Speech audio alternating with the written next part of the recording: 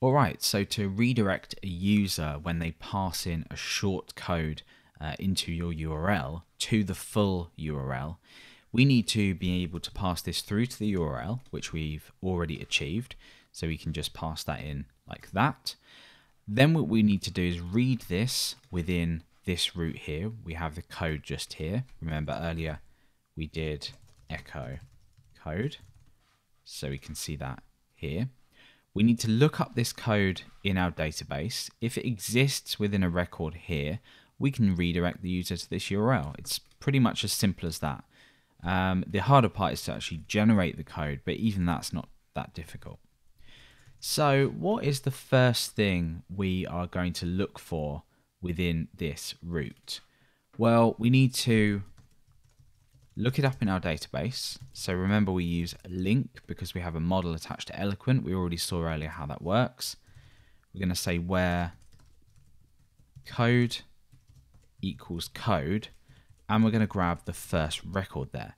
Now this isn't going to work, remember, because we need to import our namespace and that's under shorty models link.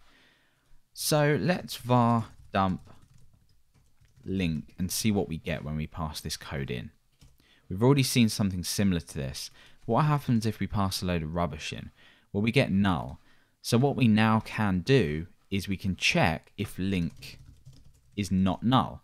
So if we say, or, if it is null, so if we say if not link, so if this is falsy, we can say app not found. So that gives a 404. Otherwise, we can say app response redirect. Remember, this is all coming from app, so this is slim functionality. link, and then we use this to access the value, uh, the property URL, which is essentially just the column in the database.